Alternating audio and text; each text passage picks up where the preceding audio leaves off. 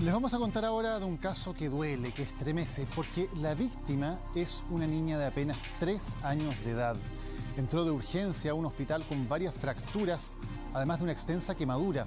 La Fiscalía está investigando responsabilidades y la Defensoría de la Niñez ya se querelló contra sus padres. Ellos aseguran que no conocen el origen de las heridas. El reportaje es de Marta Escalona. Bebé.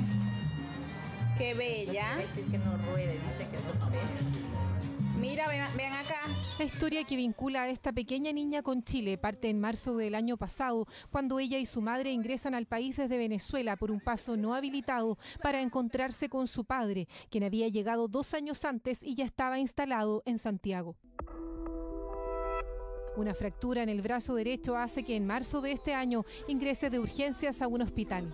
Aquí descubren que, entre otras lesiones, la niña había sufrido además fracturas en al menos cuatro costillas y otra en el esternón.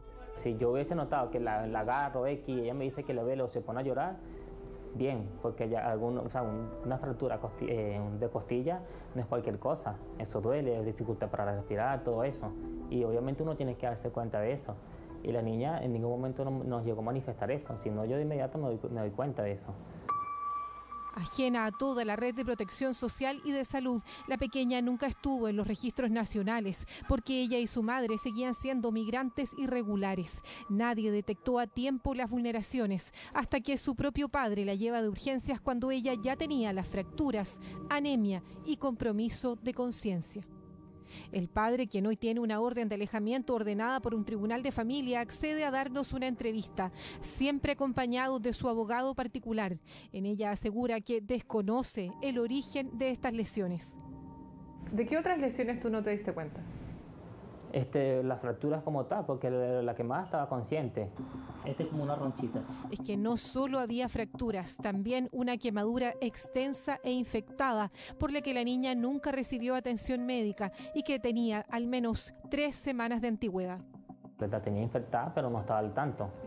¿ves? ¿Por qué? ¿Cómo no estabas al tanto? porque o sea, no tenía conocimiento de que eso estaba infectado, pues. O sea, yo se lo estaba curando y pensé que estaba mejorando. Si tú me tuvieras que explicar con las manos el tamaño de las quemaduras. Eh, wow, le indicaría de acá acá. Esto. Todo el muslo superior. Sí, el interno. muslo, exacto, esto es mulito. Las dos partes. Sí. ¿Y cómo explicas tú esas quemaduras? Eh, Eso fue este, supuestamente a raíz de una eh, quemadura de la... de la- ah, no, no se sabe, eso es lo que están viendo ahorita, si fue eh, supuestamente una araña de rincón, el orine o, o una picadura como tal. ¿Y tú que eres el papá? ¿Qué piensas? ¿O qué es lo que tú respondes? Este, la verdad, o sea, desconozco como tal porque no sé cómo es una picadura de eso. Primera vez que nos encontramos con esos casos porque nosotros allá donde vivimos, en Venezuela, nunca, nada de eso. Y para nosotros eso es nuevo, pues. Si tú tuvieras una quemadura de ese porte en tus piernas que se puso negra, ¿te parece que te podrías quedar sin atención médica? Si la tienes además en ambos muslos interiores. No.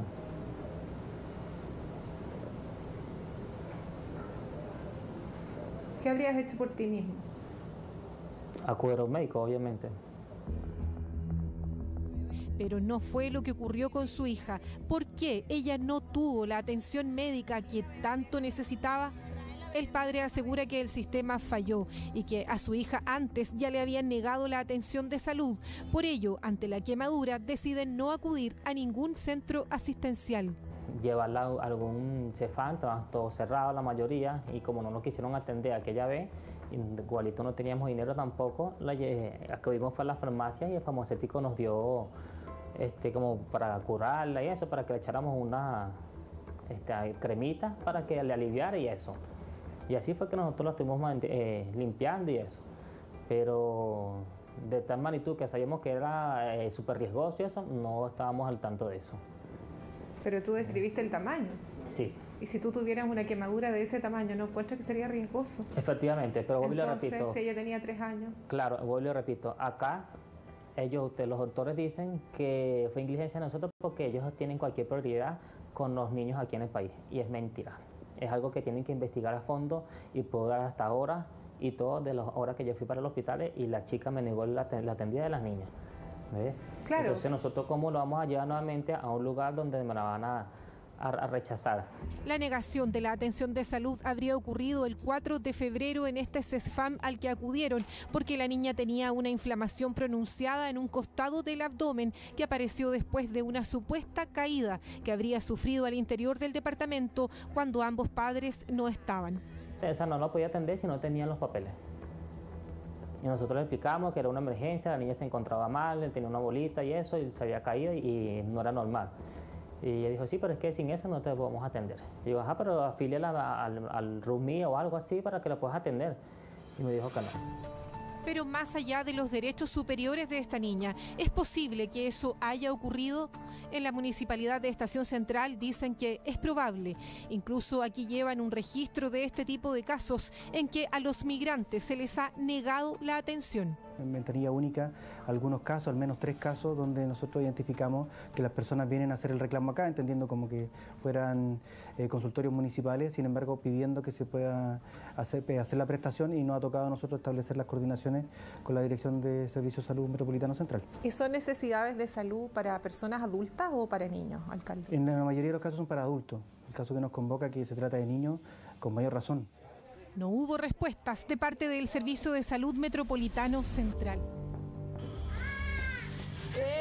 Pero más allá de eso, ¿qué pasó con las otras lesiones?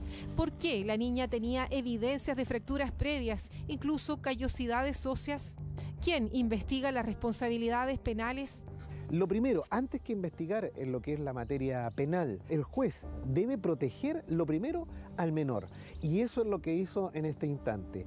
Dictó una medida para proteger, cautelar la vida de esta niña de tres años. Una bebé. La unidad especializada en género y violencia intrafamiliar de la Fiscalía Centro Norte investiga esta causa y está a la espera de peritajes del Servicio Médico Legal y resultados de algunas diligencias que ya fueron ordenadas al OS9 de Carabineros. Por ahora no hay imputados. En este departamento de Estación Central, la niña pasaba el día, según sus padres, al cuidado de una tía paterna, una joven venezolana de 16 años, mientras ambos trabajaban la jornada completa. Le preguntamos a la madre de la pequeña por las lesiones de su hija. ¿Qué tipo de lesión habla usted? Las lesiones que tiene, que, el informe médico dice que tu hija tiene lesiones. ¿Qué explicación hay para esas lesiones? Para cada, para cada lesión yo tengo una explicación pero si me habla de, o sea, son varios, o sea, dicen que tiene fractura en el esternón, en el hígado.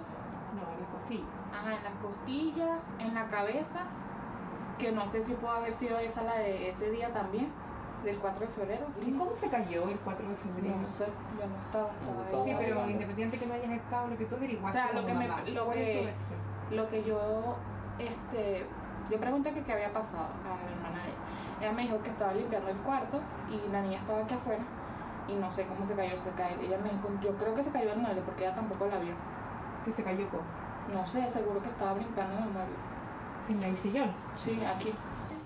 Los abuelos paternos de la menor llegarán desde Venezuela en los próximos días para presentarse como familia extendida ante el Tribunal de Familia y solicitar su cuidado personal. Mientras la defensora de la niñez presentó una querella por lesiones graves contra ambos padres. Con la finalidad de que con la mayor celeridad posible el Ministerio Público realice todas las diligencias necesarias para poder perseguir criminalmente una situación de esta gravedad. Esperamos y confiamos que esta niña, a pesar de la violencia, de la que ha sido víctima se recupere muy pronto y por supuesto que eh, las personas que han estado involucradas en la comisión de este grave delito sean sancionadas severamente, evitando que ella siga expuesta a situaciones de esta naturaleza. Este es el gorro de una muñeca que se le llevó al hospital, pero no nos va a regresar, no sé si la tendrá ella. Nosotros llevamos varias muñequitas varios juguetes para allá. Esta que ya estuvo hospitalizada y eso. Por ahora, la pequeña permanece bajo la custodia temporal del Sename. Pero la medida cautelar de prohibición de acercamiento de los padres hacia la niña ya terminó. Su abogado solicitó al tribunal que autorice las visitas con supervisión, con el objetivo de mantener el vínculo mientras se investigan las responsabilidades.